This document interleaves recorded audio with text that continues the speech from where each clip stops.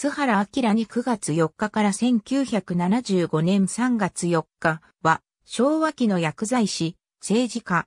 参議院議員、愛知県議会議員などを歴任した。愛知県出身。1949年岐阜薬学専門学校を卒業した。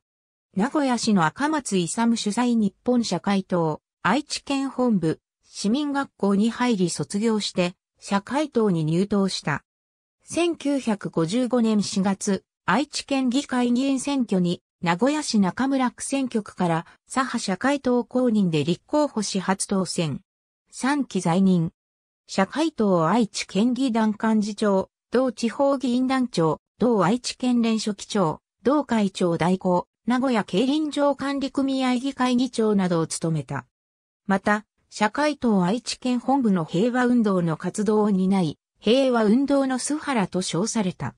1967年1月の第31回衆議院議員総選挙に、旧愛知1区から社会党公認で出馬して落選。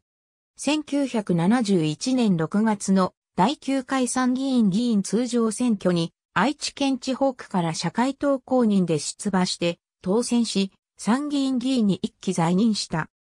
この間、参議院社会労働委員、同予算委員、同決算委員、社会党中央委員、同中央統制委員、同社会保障政策副委員長、同愛知県本部顧問、愛知県薬剤師会顧問などを務め、地下街防災問題、新幹線郊外問題、家族計画の指導方法の改善と、経口避妊薬の承認に関する問題などに取り組んだ。